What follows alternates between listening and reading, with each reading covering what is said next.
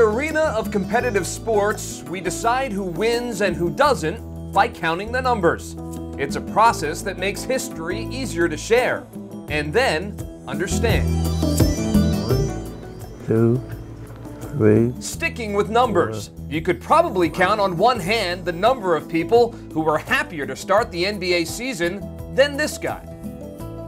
I love working this job. His name is Harvey Pollack, and he has 88 calendar years behind him, right, so that's a four. and he counts his blessings every day. Six, seven. I'm the only one left in the NBA today who was in the NBA when the league started in 1946. Three, four, five, Nestled in the basement of the building where his hometown team takes the court, Seven. Harvey goes to work hey, six. Wait, like he has for close to seven decades. This is Dallas. I love basketball and I love numbers. I love them both. He's the Sixers I'm statistician, known as the Director of Statistical Information. an NBA I don't treasure, have and Oh, says he's oh, one yeah. of a kind. And who are we to I'll write argue? them down. Like we said, the numbers are on his side. 1946, when the league started. I'm the, I'm the, what they call the last of the Mohicans. Take off one there, it's 506. That takes care of Jersey. You see, for Harvey, it has always been about the numbers, and he does it by the book, oh, his own. He's the author of one of the NBA's most important references, a Bible of sorts. Oh, Harvey Pollack's uh, NBA statistical yearbook. Yeah, right. Since 1966, he has rolled it off the presses. My baby. It's chock full of the statistics on which the game of basketball was built, and even a few that Harvey invented. Well, the most famous one is the, the triple double. In fact, uh, when I went into the Hall of Fame, Magic Johnson went in at the same time I did, and Larry Brown was there. He was went in that year too. So I went up to Magic. I said, "Hey, Magic, without me, you wouldn't even be here." I got so many people waiting for this book.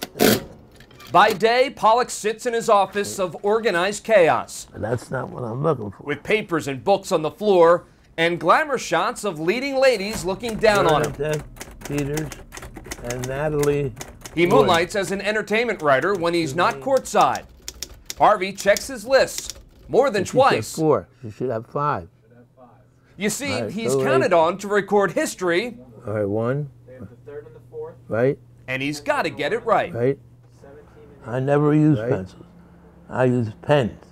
I always never use a pencil. Never use an eraser.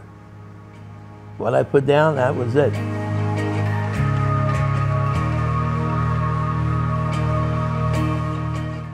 Numbers shouldn't measure what Harvey has done for the game of basketball.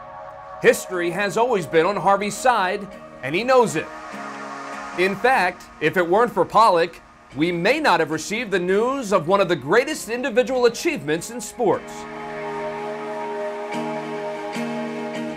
That game was definitely the most memorable of my career because I was had so many jobs that night.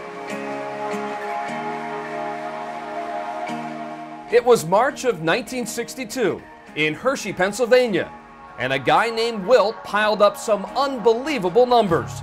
And Harvey was there, counting them all.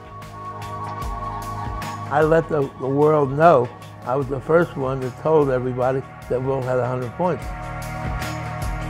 There was a reporter standing there. I walked over to him, ripped out a page out of his book, and I got a pen. I wrote 100.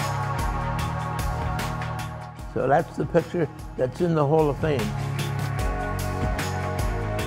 So that was by far the busiest night of my entire career. In fact, when we left the building my crew to go back in the car, we come up by automobile to Hershey. I said, stop at the first bar. I need a drink.